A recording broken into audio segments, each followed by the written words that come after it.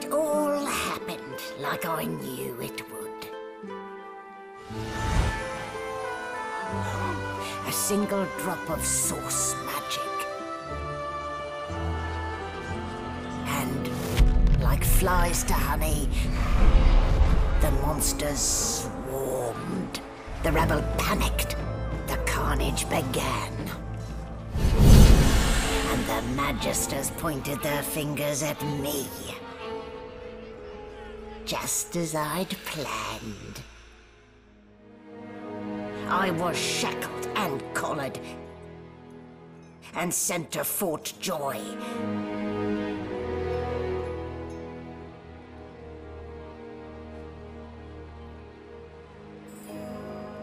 I'd come here to kill Godwoken.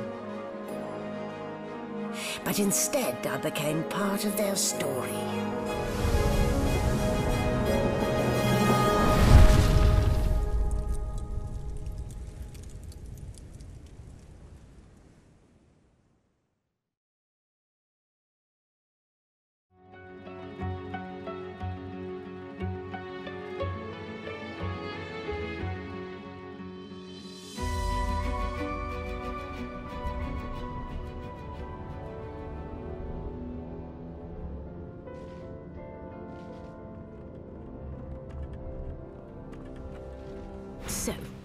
Still a bit groggy, are we? Don't worry, the sedative will wear off soon enough. Easy now, no need to hurry. Get your bearings and report to me upstairs.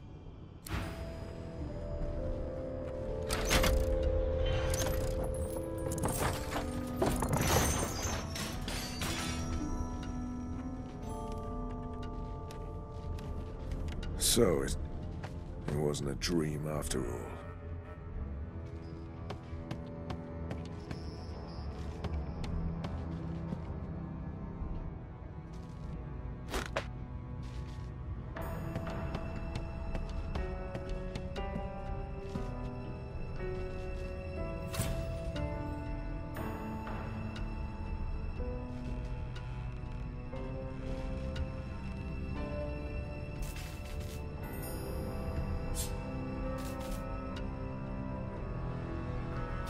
Junk. Junk. Junk.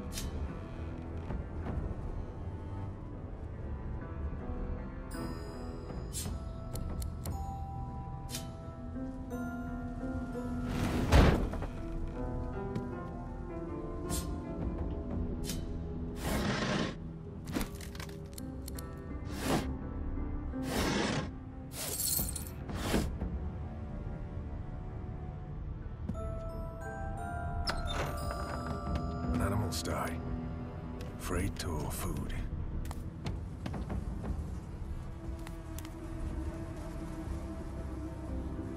Shaking her fluffy coat, the sheep eyes you balefully, her rectangular eyes like letterboxes to the void. With one sharp hoof, she kicks you right in the shin.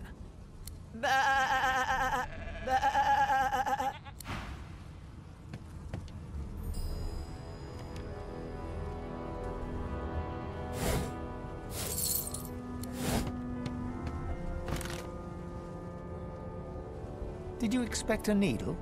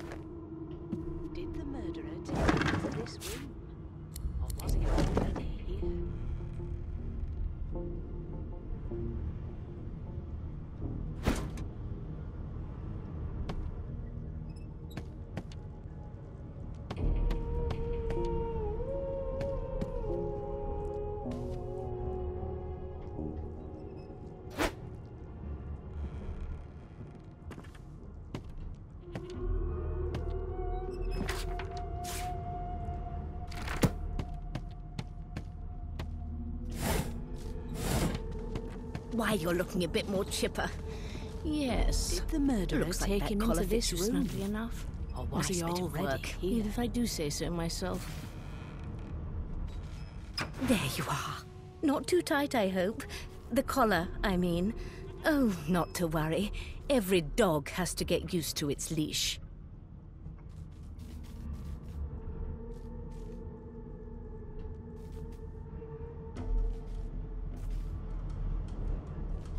In the meantime, your next stop will be Magister William.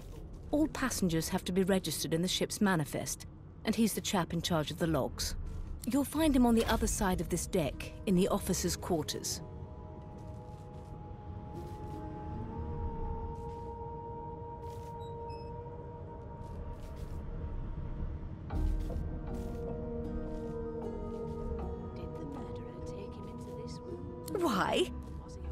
At sea, of course, and have been for several days.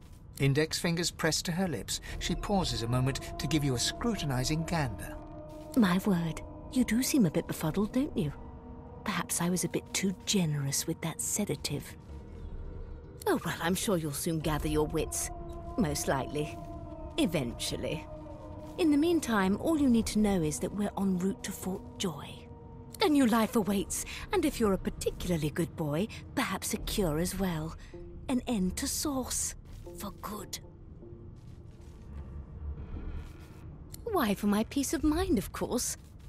Why don't you try casting one of those Source spells of yours? See what happens.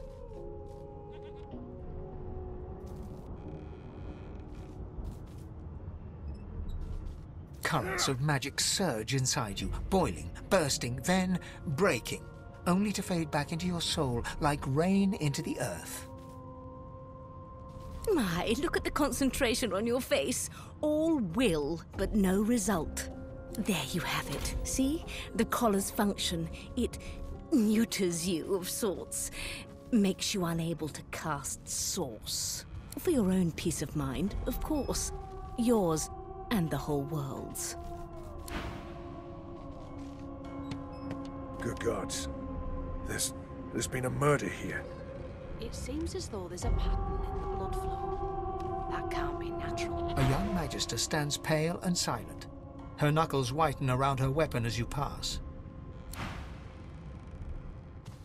Behind the magister, a bloodied mass lies in a heap. Gore and limbs lie at odd angles. You can't make out a face amid the mess. There's been a murder. A sorcerer was killed by one of your own. Lucky you were busy getting your collar fitted at the time, or you'd be a suspect like the rest of them. Waters is investigating. She'll figure out who did it. Always does. Aren't you enterprising? I'll let Waters tell you no herself. She with the body.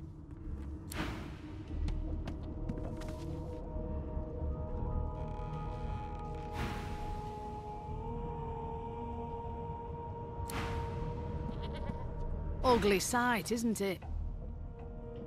Burns me up this happened under our protection. We're extremely lucky no Voidwalker followed the source that did this.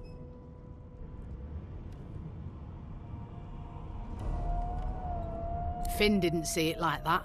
He was desperate for us to help him. Two things scared the living daylights out of him.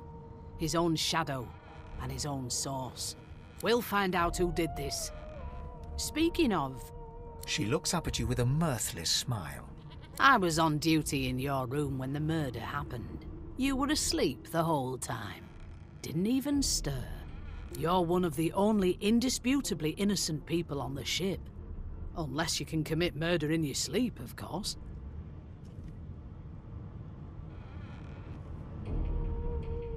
I thought as much. Listen, I could use someone to keep their ears open among the passengers. Sometimes they clam up in front of a uniform. Bring me a good lead, and I'll throw in a shiny gold coin for you. How about that?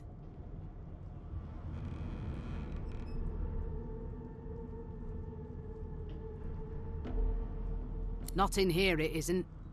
You let me know if you hear anything. Whoever did this is dangerous.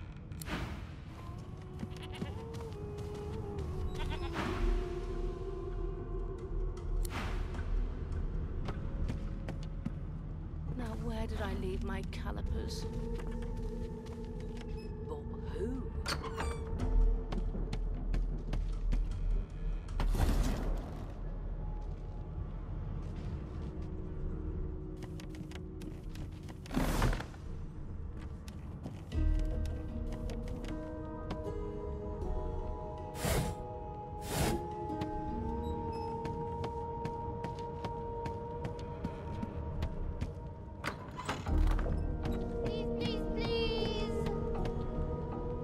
You scallywags.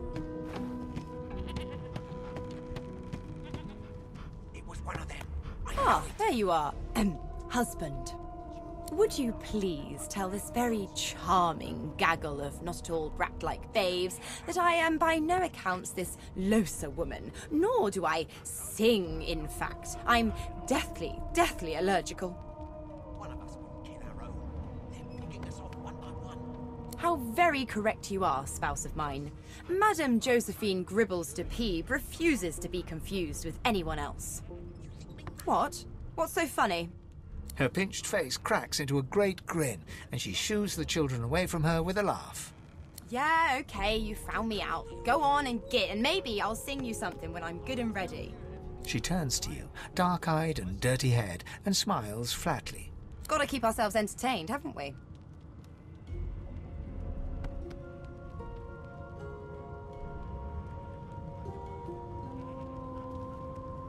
You presume right.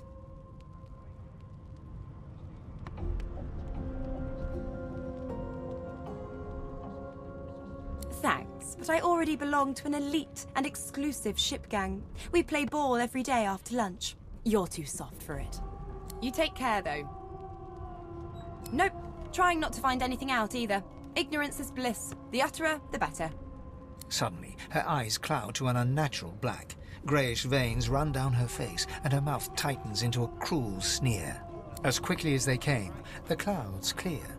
She smiles as though no change came over her. Good luck, Chief.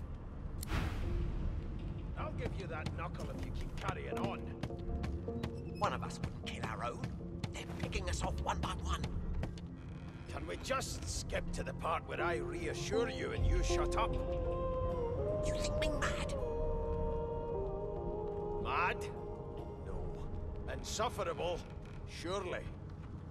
What are you trying to hear anyway?